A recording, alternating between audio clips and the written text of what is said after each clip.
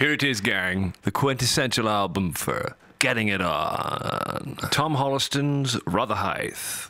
I think it's pretty obvious that Tom is the shoe-in for this year's Priapus medallion. Oh, definitely, uh, definitely on the on the medallion. Yes. Oh, definitely. Yes. Yes, of course. I think the people will really enjoy this album. It's uh, uh how can they not? Tom Holliston's Rotherhithe.